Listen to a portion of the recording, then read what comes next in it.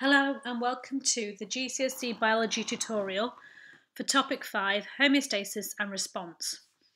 This tutorial covers part 1 the nervous system.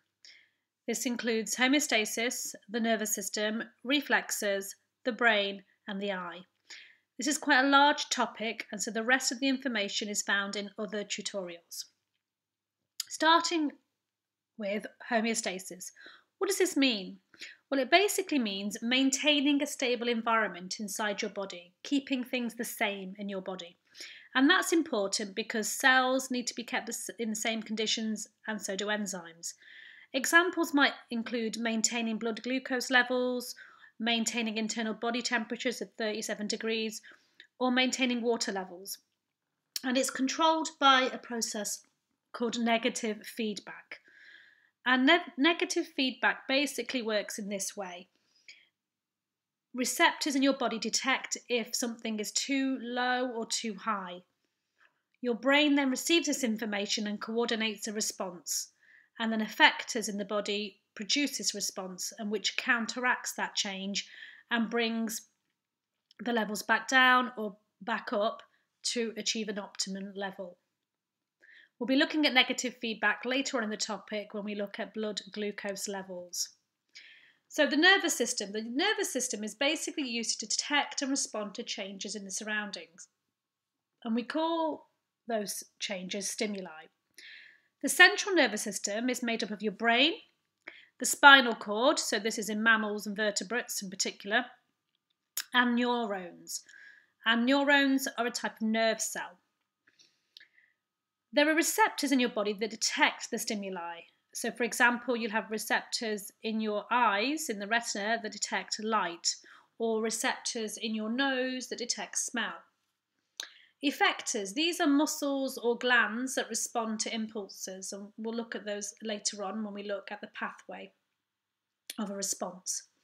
Going back to neurons, there are two main types in your body the sensory neurons, so they sense um, the information and carry it from the receptors to the central nervous system. And then motor neurons, think of motor and, and movement, they carry the information from the central nervous system to the effectors, so to the muscles and the glands. And information is passed through the nervous system through electrical impulses. Going back to topic one, we looked at nerve cells.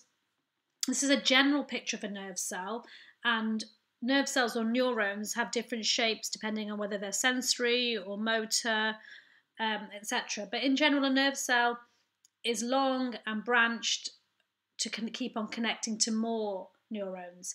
The gap between one nerve cell and another is called a synapse, and that's where the electrical impulse stops and is transferred chemically instead as neurotransmitters. And once it gets to the other side of the gap, it then turns back into a new electrical impulse and then carries on. So, how does the central nervous system coordinate a response? Well, going back to that word stimuli, so the stimulus is whatever changes in the surroundings. So, it might be, for example, light. Um, receptors then detect that change. So, for example, receptors in the eye detect light. And this sends a message, these then send a message along sensory neurons to the central nervous system, so for example to the brain. The brain then coordinates a response and sends information along motor neurons to the effectors, so to a muscle or a gland, and then the muscle or the gland cause a response.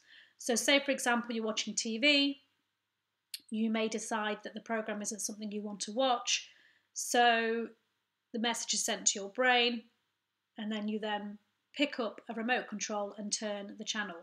Now, that is not a reflex, it's something that you consciously are thinking of doing, even though it can be quick.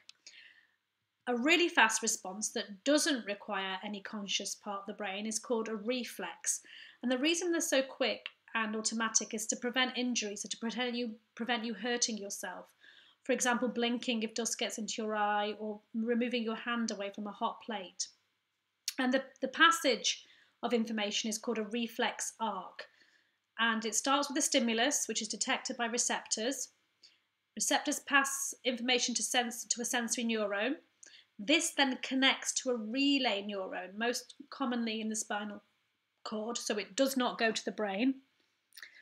The motor neuron, sorry, the relay neuron then connects to a motor neuron. That then passes the message to an effector, which carries out a response. A common example might be moving your hand away from a hot plate or a candle, as shown here. So the receptors in the skin detect the change in heat, so the stimulus. They pass, pass a message along sensory neuron, which connects to a relay neuron in the spinal cord, which connects to a motor neuron, which goes to the muscle. The muscle then contracts, and you move your hand away quickly. You'll also need to know how to investigate reaction times. Reaction times are how long it takes for someone to respond to a stimulus. And an experiment that you would need to know is the effect of caffeine on reaction time. So because caffeine is a stimulant, it is thought to speed up reaction rates. And you would do this by getting a person to put their arm on the edge of, edge of a table, holding a ruler between the person's thumb and forefinger, and then letting go of the ruler with no warning, and recording the distance at which they catch the ruler.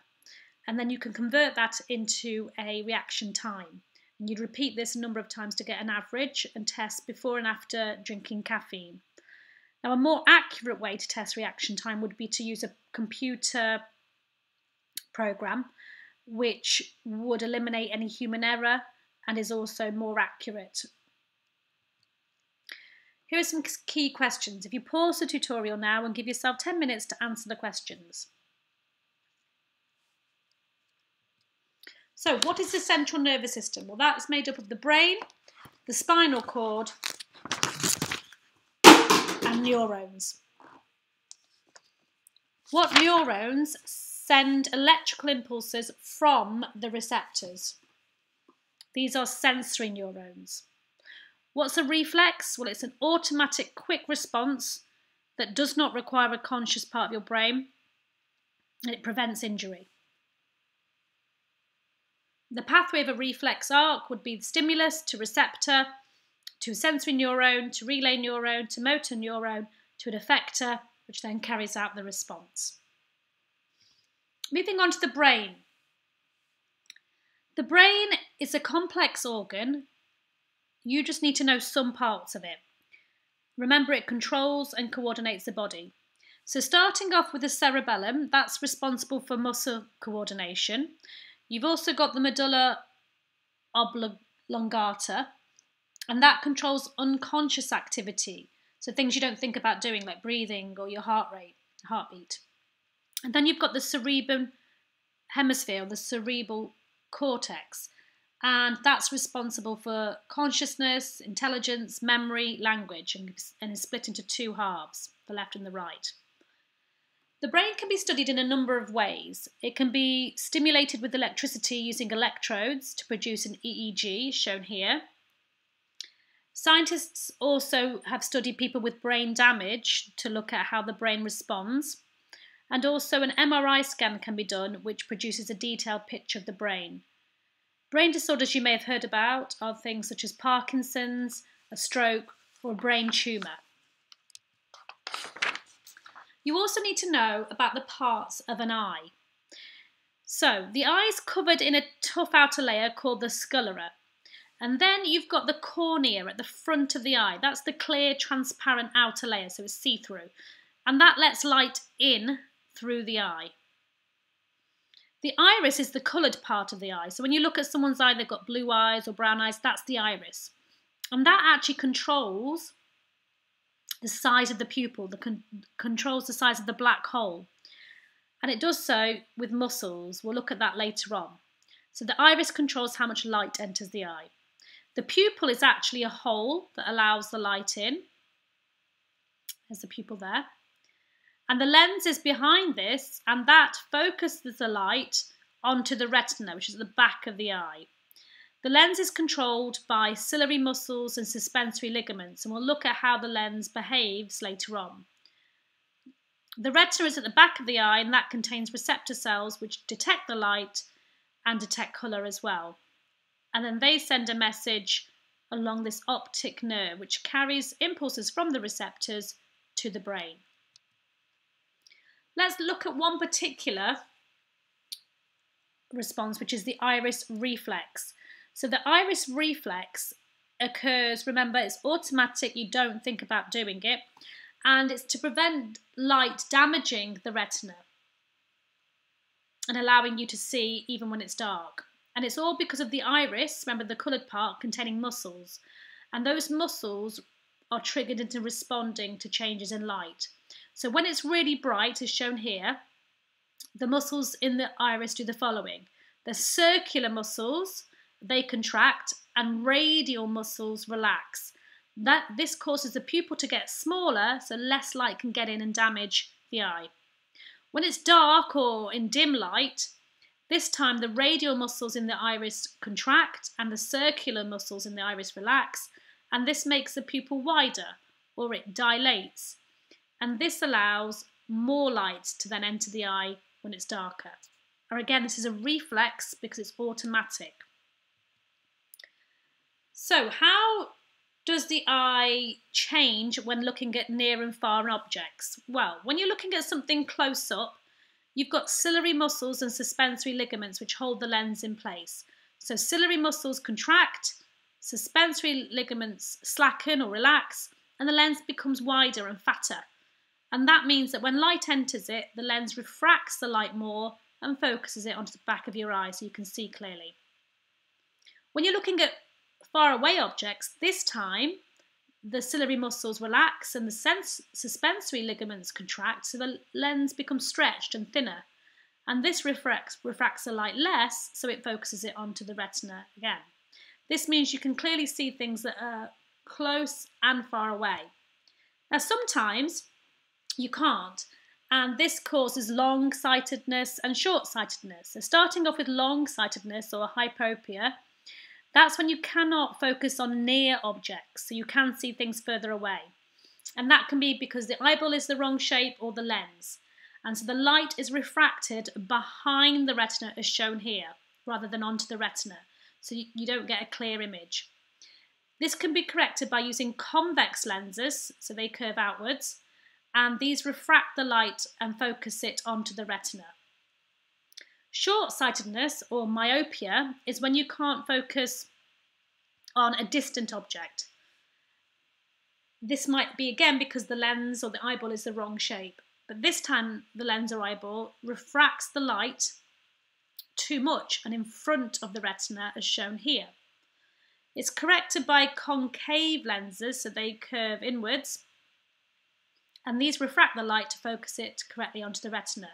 So when you've got glasses, there'll be different shapes. You can't really tell by looking at glasses at the different shapes because the lenses have been thin so much, but some will be convex and some will be concave depending on your vision. Now there's other ways to correct vision defects. So contact lenses, which some people prefer to glasses because they're lightweight, but there is risk of eye infections. Laser eye surgery, this is when an actual laser is used by a doctor to change the shape of the cornea. Remember that transparent outer part of the eye, front part of the eye.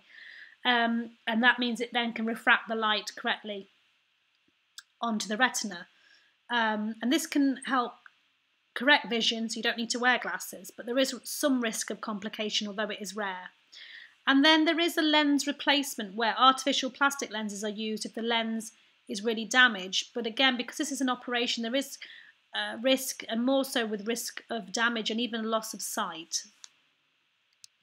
So there's a six mark question now for this topic. If you pause and give yourself 10 minutes to answer. So the question was describe how vision defects can be corrected. And it's important that you recognise this is six marks so you don't just focus on one thing. So you could talk about long-sightedness, and that's when you can't focus on near objects because the light is refracted behind the retina. And you, this can be corrected using convex lenses. You can also talk about short-sightedness, and that's when you can't focus on distant objects and the light is refracted in front of the retina, and that's corrected by concave lenses. And you might want to put in diagrams to help your ex explanation.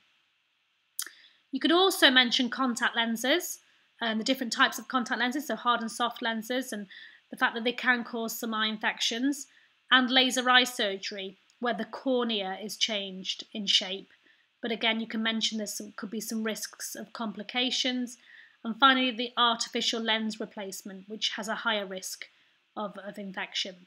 So remember to discuss all different types of vision defects and also how they can be corrected. So in summary, we've talked about homeostasis, the nervous system, reflexes, the brain, the eye, and the practicals we've looked at are investigating reaction time. Thank you.